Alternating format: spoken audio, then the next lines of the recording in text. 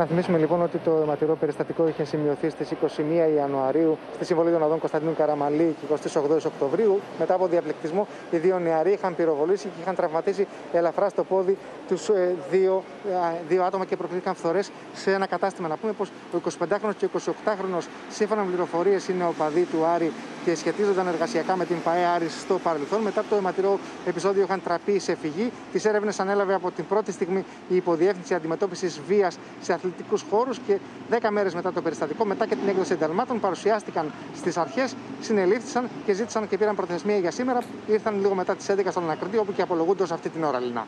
Σε ευχαριστώ πολύ.